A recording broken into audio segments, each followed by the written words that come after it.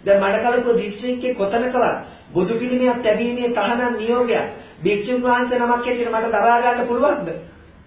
මඩකලපුව දිස්ත්‍රික්කයේ කොතනකවත් පන්සලක් ඉදි කරන්න එපායි කියලා නීතිය නීති පනවනකොට ඒක මට දරා ගන්න පුළුවන්ද? මම මම බද්දුලි කකා මම පාපතර ක්‍රියාකාරකම් කර කර මේ සමාජයේ හැසිරුණේ නැහැ.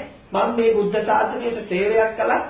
ඒ කරපු සේවය පාවිච්චි කරගෙන අද අපේ අතින් යම් කිසි වරදක් සිද්ධ වෙනවනම් අඩුපාඩුවක් සිද්ධ වෙනවනම් ඒ අඩුපාඩුවටම දඬුවම් කරන සමාජයට අපි කියනවා අපි එහෙම අපි ඒ தත්ත්වෙන් ජීවත් නොවි මේ ශාසනය ආරක්ෂා කරගන්න කැමති මේ බුද්ධ වචනේ ආරක්ෂා කරගන්න කැමති අපි වතු පරපුරට මේ රට ආරක්ෂා කරලා තියන්න අපි කැමති. නැත්තම් අපිට හැම වෙලාවකම කරන්නේ චෝදනා නම් අපි කරන දේම වැරදි කියලා දකින සමාජයක් නම් අපිට මේක ආරක්ෂා කරගන්න බැරි වෙනවා. අපිට මේකෙන් අයින් වෙන්න වෙනවා. මොකද මම මේක කනගාටුවෙන් කතා කරන්නේ. මේ වෙනකොට දිගින් දිගටම මට මරණ තර්ජනය කරනවා. මරණවමයි කියනවා. මඩ කලපින් ඉන්න එපාමයි කියන්නේ. මේක TNA සංවිධානයේ කියනවා. මේක LTT සංවිධානයේ කියනවා. මේක අපේ පොලිසියේ වගකීම් යුතු ජ්‍යෙෂ්ඨ නිලධාරීන් කියනවා.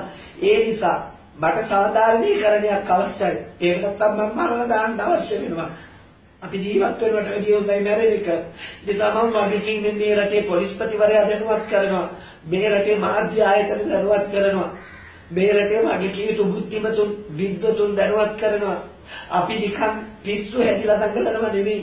අවුරුදු 20 ගාණක් 30 ගාණක් මේ යුද්ධය අත්විඳලා මේ අත් දෙකේ රණවිරුව මැරෙනකන් ඒ රණවිරුව තුරුල් කරගෙන ඉඳලා මේ රට වෙනුවෙන් මේ ජාතිය වෙනුවෙන් මේ ශාසනය වෙනුවෙන් යමක් කරනවයි කියන අදිෂ්ඨානය තුල මේ කරගෙන යන ක්‍රියාකාරීත්වයට මේ තරම්ම කෙරෙහි වෙනවනම් මේ රටේ ජනාධිපතිවරයා මේ රටේ අගමැතිවරයා මේ රට පාලනය කරන සියලු පාලකවරු අවධානය යොමු කළ යුතුයි.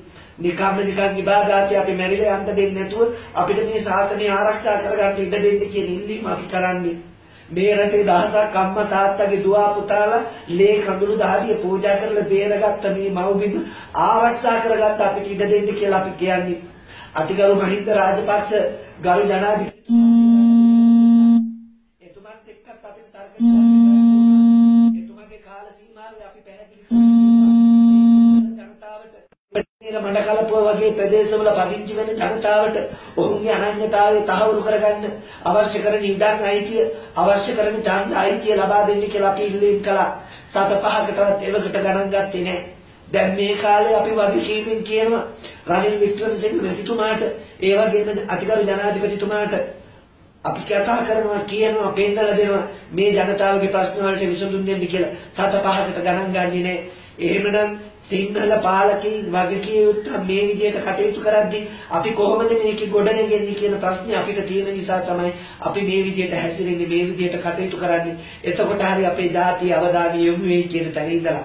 හැබැයි චෝදනා කරන ප්‍රමාණයට කිසි කෙනෙක් අපිට උදව් කරන්නේ නැහැ. උදව් කරන්නේ බොහොම අතලොස්සක් දින. ඒ උදව් කරන අයත් අපි මේ අන්තර්ජාලය හරහා මේ Facebook කරා පෙන්නනවා හැම වෙලාවෙම සමාජයේ දකින්න ඇති උදව් කරන්නේ කීයෙන් කී දෙනාද කියලා. අද දවසේ කන්ට නැතුව මේ කතා කරන්නේ. අද දවසේ වතුර පොදක් අද දවසේ වතුර පොදක් හරියට මට කියලා නැතුව මම මේ කතා කරන්නේ. ඇයි? ඒක කවුරුත් දන්නවා.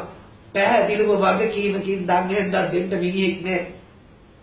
ඒ නිසා අපි කාලා බීලා විඳින්න තියෙන සැප සම්පත් විඳලා විදේශ චාරිකා ගිහිල්ලා ලෝකේ නරම නරම ඉඳලා නෙමෙයි අපි මේ කතා කරන්නේ විවිධ දුක්ඛ ගැටලු රැසකට මුහුණ දෙමින් හැබැයි අතාරින්නේ නෑ. මේ වෙනකොට මම අලුතෙන් තොප්පිකල දියුල පතාන ගම්මානේ ආරම්භ කරලා කියනවා ඒකටත් විවිධ තාරණ නියෝග පනවනවා. අපි අතාරින්නේ අපි මේ ගම්මානෙත් ඉදිරියට ඉස්සරහට කරගෙන යන්න බලාපොරොත්තු වෙනවා. ඒ වගේම තමයි කුළු කොණාව කෙවිලියා මඩුව මේ වෙනකොටත් අවතැන්වූ ජනතාවට අපේ අවශ්‍ය කටයුතු කරගෙන යනවා. මේ සඳහාමට උදව් කරන අපේ හෙළබිම සංවිධානයේ. විශේෂයෙන්ම හෙළබිම සංවිධානයේ ಜಾති ಜಾතිත් අපි පින් අනුමෝදන් කරනවා. මොකද හේතුව මේ සංවිධානය නිසා තමයි අපි ගොඩ ගියේ જાතියක් හැටියට මේ මඩකලපිය දෙපෙන් හිටගත්ත හෙළබිම සංවිධානය නිසා හැම නිලධාරියෙක්ම හැම දරුවෙක්ම ඉතාමත් ගෞරවයෙන් සිහිපත් කරනවා. වගේම අපේ ලන්ඩන් නුවර ඒ වගේම ඉස්රාත් රාජධානිය පුරාම ඉන්න සියලුම සිංහල බෞද්ධ පින්වතුන් පුළුවන් තරම් අපිට උදව් උපකාර කරනවා. ඒ නිසා තමයි අපි මේ විදිහට කටයුතු කරගෙන යන්නේ. ඒ වගේම තමයි කොරියාව වැනි රටවල් වල පමණක් නෙවෙයි ලෝකේ බොහෝ රටවල් වල ඉතාලිය වැනි රටවල් වල ඉන්න අපේ සිංහල බෞද්ධ ජනතාව නිතර මේ ගැටලු පිළිබඳව අවධානයෙන් ඉඳලා උදව් කරන්න සැදී පැහැදී කටයුතු කරනවා.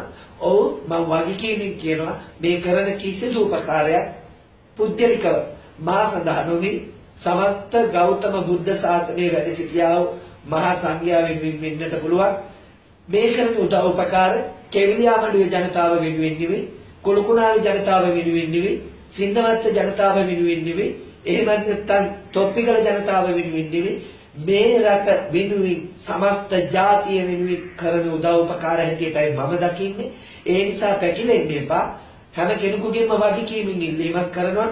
මගේ දුරකථන අංක මම ප්‍රසිද්ධ කරලා තියෙනවා. ඒ වගේම මගේ ගිණුම් අංක මම ප්‍රසිද්ධ කරලා තියෙනවා. ඒ ප්‍රසිද්ධ කරලා තියෙන්නේ මට අවශ්‍යයි මේ වෙලාවේ ඉස්සරහට යන්න.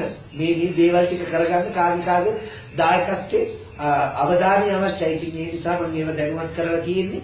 කතා කරන්න කතා කරලා ඉදිරියට මේ නැගෙනහිර පළාත ආරක්ෂා කරගන්න මේ මඩකලපු ආරක්ෂා කරගන්න මම ජීවත් වෙලා ඉන්නකම් මට උදව් කරන්න කියලා මම හැමදෙනාගේම ඉල්ලීමක් කරනවා. හැබැයි ජීවිතය අවනිච්චදයි කොයි වෙලාවෙද දන්නේ නැහැ මරණය. මේ දින කීපය තුල විශාල වශයෙන් මරණ තරජන කරමින් පවතිනවා. එන දෙයකට මම මූණ දෙන්නට සූදානම්. මැරෙන්න බය නැහැ ගෙනාපු දෙයක් නැහැ ගෙනියන්න දෙයක් නැහැ මම කලානම් කලේ රට වෙනුවෙන් ජාතිය වෙනුවෙන් එක් එක් පුද්ගලයෙක් හෝ වේවා. ඒ පුද්ගලයාගේ ජීවිතය වෙනුවෙන් කියන එක මම වගකීමින් අවධාරණය කරනවා. හැම දිනාටම සම්මා සම්බුදු සරණයි.